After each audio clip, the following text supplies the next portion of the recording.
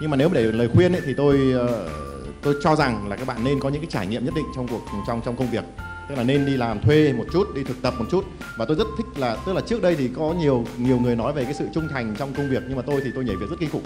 Đến nay thì tôi đã nhảy việc đến hàng chục công ty rồi. Và tôi rất thấy, thấy có những công ty tôi chỉ làm việc vài tháng ví dụ như Ford tôi có từng làm việc ở Ford nhưng mà thời gian rất ngắn.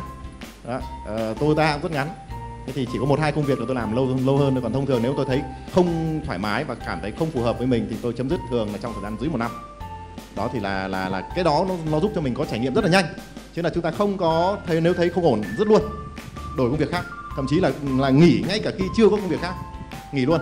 Chứ còn ờ, không níu kéo không cố gắng cái điều đó nó mất thời gian của chúng ta.